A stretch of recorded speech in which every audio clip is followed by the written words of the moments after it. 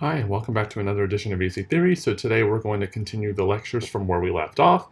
So we've been talking about these things called deterministic finite automata, or DFAs. And what those are is a state-based machine, kind of like this one, where we have some states, and in this case we happen to have five states. We have a start state, transitions in between the states, and some of the states are marked with a double circle, meaning that they're final. And when we read a string, we read the string one character at a time and record where we actually go in the machine. And once we're done reading the string, if we are in one of the double circle states, we say accept on that string. And if we're not, we say we don't accept that string. So let's look at a particular string. So let's just say w equals 0, 1, 1, 1, just as a, an example.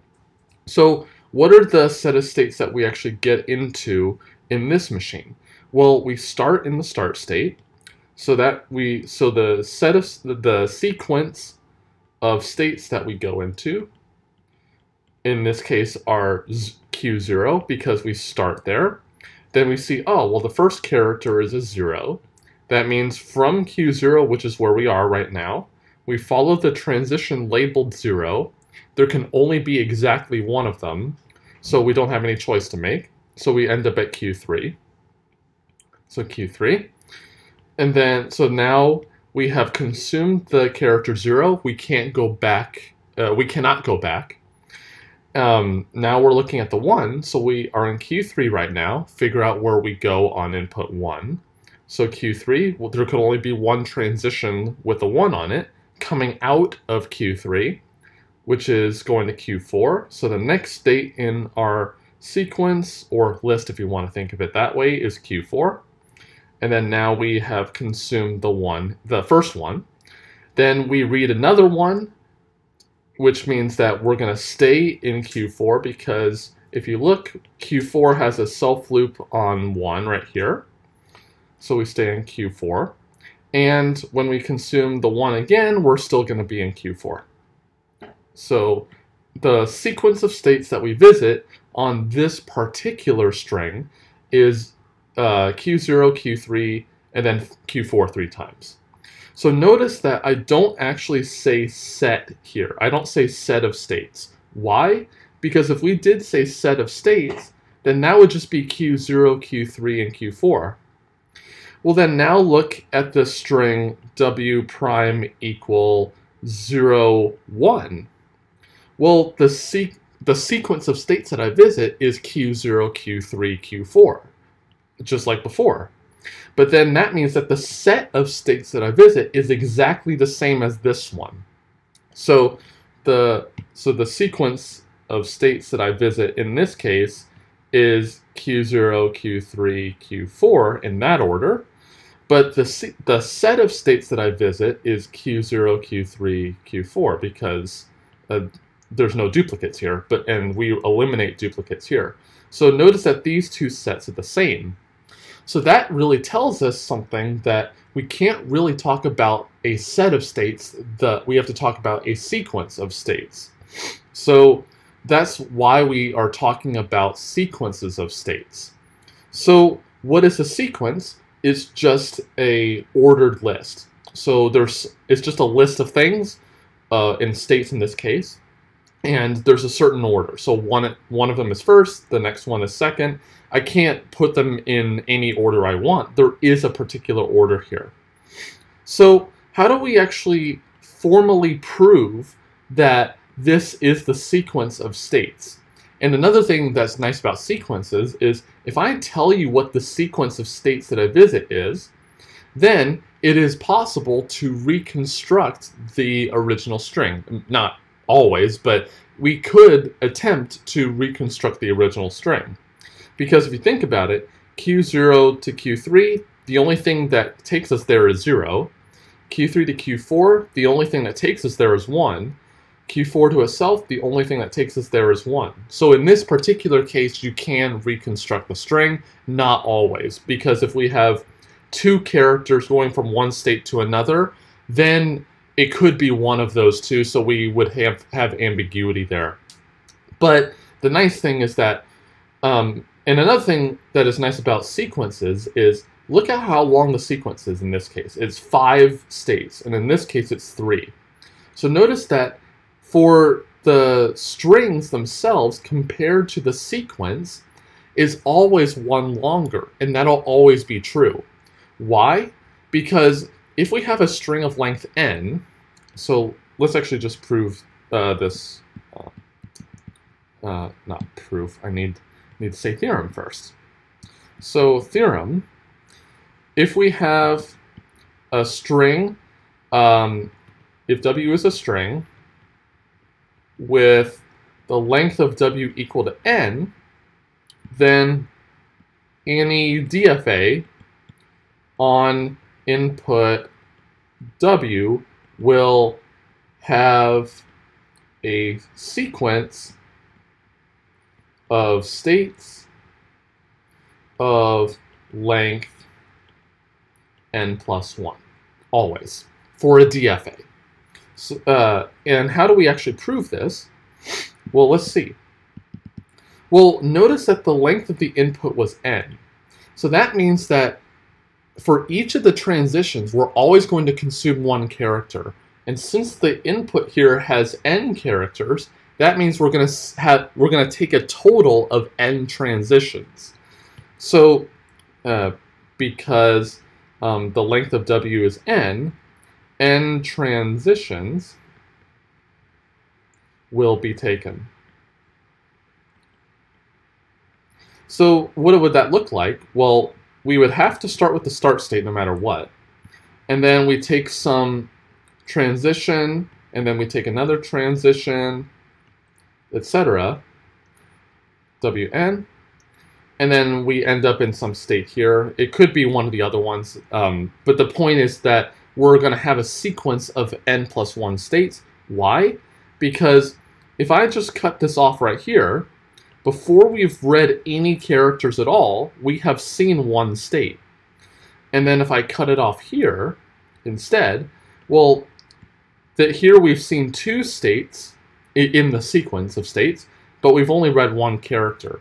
And by induction, if I cut it off uh, at the end, that means that we have read n characters, and therefore, um, uh, therefore we have seen n plus one states. Okay, so that's kind of nice that we know how long the DFA will always take on a given input if you know the length of the input itself. Okay, so we should introduce some more definitions here. So let's just uh, say that sigma here is an alphabet. So, and from recall from before that, that just means a finite set of characters. That's, that's all it means. Then we're going to call sigma star, I'm going to put a box around it because we're going to reference this all the time. Sigma star is the set of all strings over sigma. So what in the world do I mean? So let's do an example. So if I let sigma to be the set 0, 1, so the, the characters 0 and 1, then here sigma star is the set of all binary strings because we're just looking at every possible string you can make with zeros and ones, including the empty string. And so that's another thing. So we're going to call epsilon right here, we're going to call this the empty string.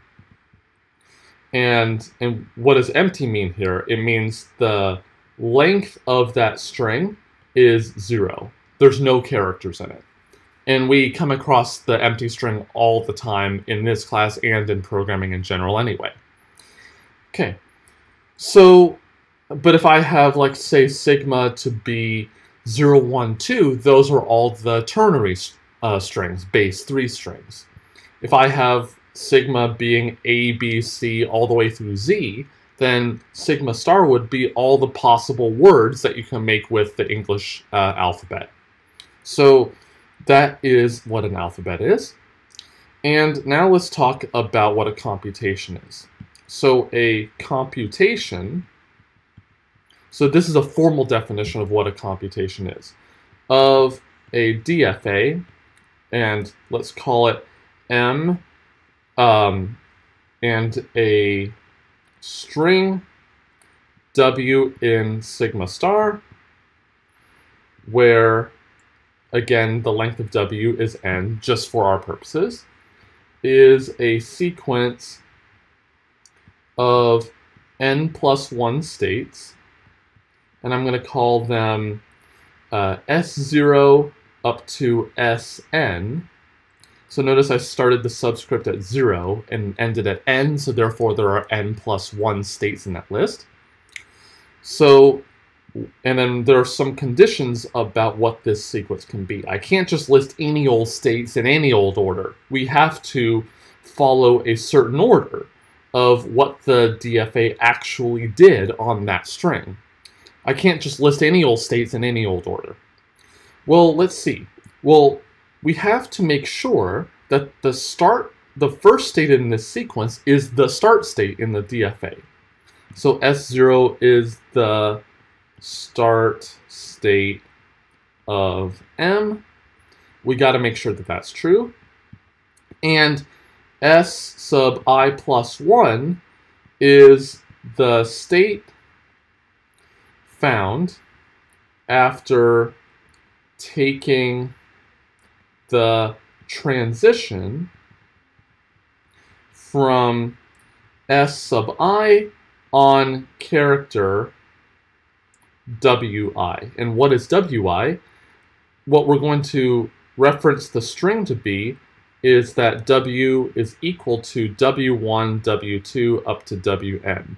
So each of the characters, I'm going to call the first one w1, the second one w2, etc., all the way to the end. So this is saying that to get to the to the i plus first state, I gotta read the ith character. So for example, if I wanted to go to s sub 1, the next one in this sequence, I got to figure out where to go from S0 on input. Uh, actually, I, I have this backwards. It should be WI plus 1. That, that's my mistake. So it should be WI plus 1. But to get to S sub 1, I need to go from S0 on input character W1, which is the first character in the string.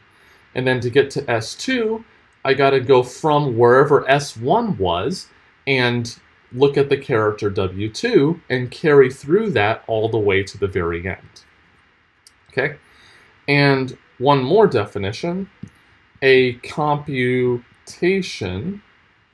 is accepting, so it's an accepting computation if S sub n, the last state, is a final state of M because this sequence is just a sequence of states. It may or may not land in a final state, but we're going to say an accepting computation is one that actually ends in a final state.